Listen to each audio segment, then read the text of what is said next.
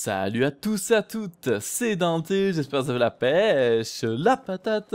Aujourd'hui, vidéo sur l'e-sport de Battlefield 4. Euh, donc cette, euh, cette vidéo a été filmée donc, en faisant un match sur euh, Battlefield 4 avec Incolorman et Blend. Donc je les remercie d'avoir participé à cette vidéo, d'avoir fait ce, match avec moi. Donc qu'est-ce qu'un versus ESL Donc c'est un, match qu'on peut lancer sur le site ESL. Euh, donc c'est sur PC, il y a le, site CSL pour console. C'est un peu pareil, c'est juste la plateforme qui change. Donc vous allez être euh, dans, une recherche de serveurs. Et même si vous n'êtes pas 5 euh, dans votre équipe, vous pouvez toujours, vous allez tomber avec d'autres personnes. Ce qui vous permet de trouver des matchs assez facilement et assez rapidement, suivant combien il y a de joueurs et de serveurs disponibles. Donc ça c'est plutôt excellent. Donc là c'est sur la map Shanghai en 5v5 en domination. Donc je pense que c'est le mode de, prédominance euh, donc sur l'esport euh, qui reste assez dynamique. Euh, c'est un peu différent de Battlefield 3, c'est un peu plus dynamique, les cartes sont un peu plus resserrées.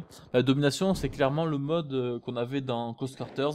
Ils ont augmenté un peu plus le temps de prise des drapeaux, mais ça reste à peu près ça. Hein. pour moi, c'est pas un mode que je raffole, mais de temps en temps, faire un petit match, moi je suis pas contre. Euh, faire de la compétition maintenant, euh, pas, ça me motive pas tant que ça. Ah oui, j'aime beaucoup. Ben, je suis, j'ai rien contre les joueurs e-sport. J'encourage tous les gens à faire du sport s'ils en ont envie, mais euh, je suis un peu mitigé en fait hein, sur ce mode de jeu qui m'attire pas tant que ça. Moi personnellement, je préfère quand même les véhicules, mais après c'est bien de temps en temps de changer. Mais là, je suis pas tant fan que ça. J'aurais plus vu du 8v8 en conquête par exemple en conquête euh, en, small, en petite conquête. Euh, pour moi, c'est quand même le mode de jeu de prédominance sur BF. La domination, ça, ça vient de tous les autres jeux. Enfin, c'est tout si simple que ça. Faut juste faire du TDM, donc du match à mort, un peu plus poussé avec trois drapeaux sur la carte. Hein, c'est tout pour moi. Ça va pas plus loin que ça. Euh, j'aurais bien vu de la diffuse, donc c'est un peu comme la R&D qu'on a dans CS et Code. Donc vous avez euh, une espèce de... C'est un peu de la ruée mais en plus petit. En plus petit. Vous avez euh, une équipe qui attaque, une, équipe qui défend. À chaque fois que vous, vous faites tuer, vous ne pouvez pas réapparaître comme ça. Il faut soit qu'on vous raise, soit vous devez attendre la fin de la manche, etc. J'en avais parlé un petit peu euh, dans les précédentes vidéos. J'aurais beaucoup plus vu ce, mode de jeu en e-sport. c'est un peu plus stratégique. voilà, faut vraiment beaucoup mieux jouer qu'en équipe. Alors que là, la domination, bien sûr, le team play, le jeu d'équipe est important mais c'est beaucoup plus du skill personnel, beaucoup plus bah, de la prise de drapeau et après on bouge plus trop quoi. Ça c'est un peu dommage. Pardon. Donc voilà, ce mode de domination est là. Il est pas si mauvais que ça, mais bon, j'aurais préféré autre chose que ce mode de domination, clairement. J'aurais bien aimé des, des, bah, des cartes adaptatives, enfin des, des, cartes adaptées pour du 5v5 en conquête, ça aurait, ça aurait été vraiment excellent. Mais euh, DICE, euh, ça n'est pas occupé, voilà, on les comprend. En même temps, l'e-sport, c'est pas non plus... Euh, bah, tous les joueurs, hein, c'est pas toute la communauté, loin de là, c'est une minorité on va dire. Il y a quand même plus de compétition que sur BF4, hein, beaucoup plus de teams, de structures euh, que sur BF3, mais ça reste quand même limité comparé à tous les joueurs.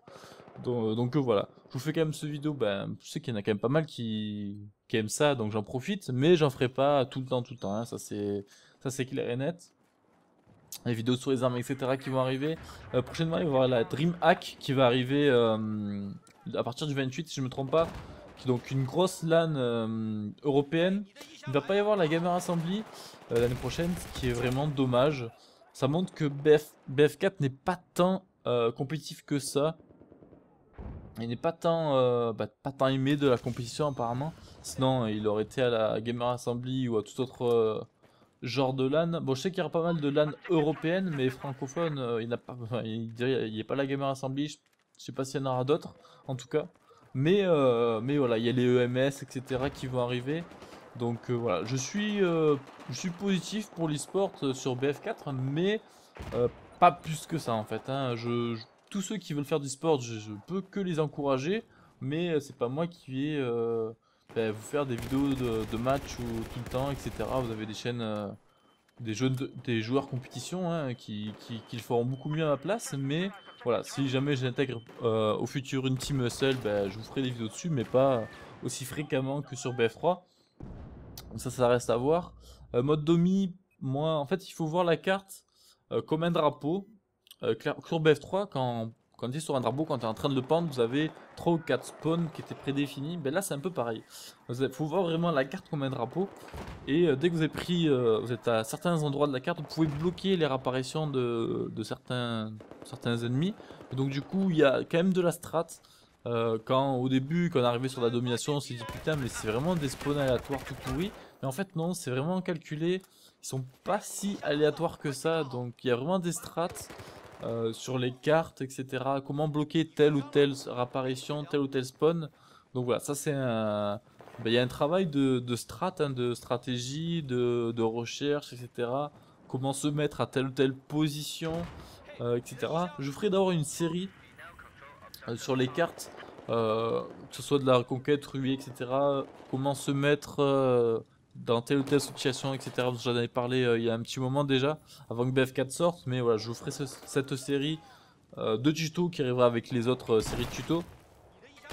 Il y a eu quelques décos dans ce match, c'est pour ça qu'on a gagné assez facilement, on a à peu près le double de tickets que l'ennemi. dès que vous avez pris deux drapeaux, pardon, les tickets ennemis tombent très vite, donc le but c'est d'avoir les trois drapeaux, et puis voilà, après les garder, faire un peu de kill, et puis ça, tombe très très vite. Euh, les parties sont beaucoup plus rapides que de la conquête. Euh, la domination, ça, une partie à peu près équilibrée, euh, ça dure entre 10 et 15 minutes max. une partie bien bien équilibrée, c'est 15 minutes. Là, la partie était pas tant équilibrée que ça. Elle a 9-10 minutes à peu près, même pas. Donc, donc voilà, c'est pas méga long. ce qui est pas plus mal pour les tournois, pour les LAN, ça permet d'inviter beaucoup plus d'équipes, de faire beaucoup plus de matchs. Euh, que ce soit pas des tours éliminatoires obligatoirement, donc ça c'est plutôt excellent. Je me rappelle des, matchs qui duraient 2 heures, là si vous, euh, vous avez deux côtés par, par carte, ça dure 40 euh, voire 1 heure grand maximum. Donc ils ont quasiment diminué le temps par deux, ce qui est plutôt pas mal. c'est un mode très dynamique à, à regarder, c'est très sympa, j'avoue.